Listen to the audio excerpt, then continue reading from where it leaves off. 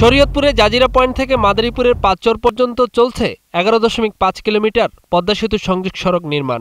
আবার মা অংশে এক দশমিক সাত কিলোমিটারের সংযোগ সড়ক নির্মাণ শেষ।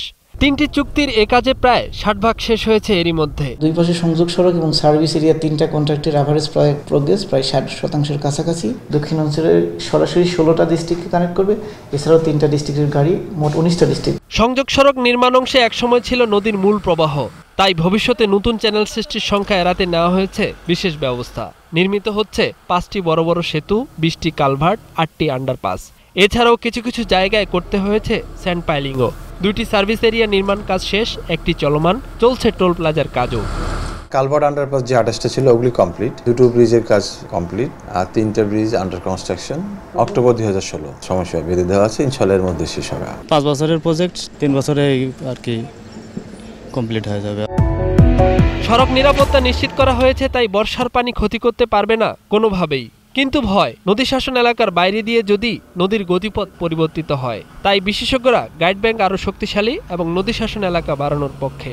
নদী এদিকে চলে আসে ভেঙে কোনো কারণে। এই জন্য একটা গাইড ব্যাংক এখানে আসে কোনো কারণে ফ্লো যদি এদিকে হয় কোনো কারণে ভেঙে না যায়। অ্যাপ্রো যদি ভেঙে গেলে তো পুরো ব্রিজে ইনএফেক্টিভ হয়ে যাবে। আশা করি যে অ্যাপ্রোচ রোড দুই দিকে এটা টিকে থাকবে। এটা আশঙ্কা হলো নদী এইদিকে যদি আসা শুরু করে এখান থেকে। তারপরে দেখা যায় যে এটা এরকম একটা গোলের মতো ভাঙ্গে এই জায়গাটায় এম্বেমেন্ট বলে। তাহলেও যাতে এই রাস্তাকে টাচ না করে।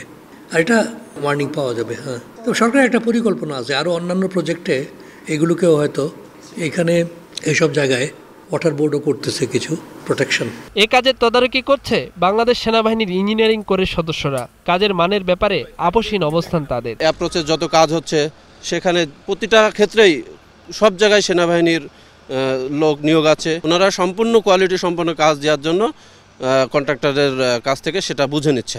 মূল সেতু নির্মাণের পাশাপাশি সমান গতিতে এগিয়ে চলছে পদ্মার দুই তীরে জনপথকে সংযোগ করার জন্য অ্যাপ্রোচ রোডের নির্মাণ কাজ।